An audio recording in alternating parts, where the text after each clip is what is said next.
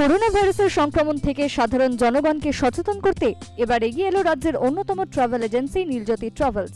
Niljyoti ট্রাভেলসের পক্ষ থেকে আগরতলা শহরের বিভিন্ন বাস স্ট্যান্ড, বিমানবন্দর সহ মোটর স্ট্যান্ডগুলিতে সাধারণ জনগণকে বিনামূল্যে মাস্ক বিতরণ করা হয়। এর মধ্যে ট্রাফিকদেরও নীলজ্যোতি ট্রাভেলসের পক্ষ থেকে এই মাস্ক বিতরণ করা হয়। বিপর্যয়ের এই মুহূর্তে নীলজ্যোতি ট্রাভেলসের এই উদ্যোগকে স্বাগত জানালেন প্রত্যেকেই। করোনা ভাইরাসকে ঘিরে এমনিতেই গোটা রাজ্যে মাস্ক ও স্যানিটাইজারের অভাব রয়েছে। এই অবস্থায় নীলজ্যোতি ট্রাভেলসের মাস্ক বিতরণের এই উদ্যোগ সত্যি প্রশংসনীয়। Bureau report News Vanguard.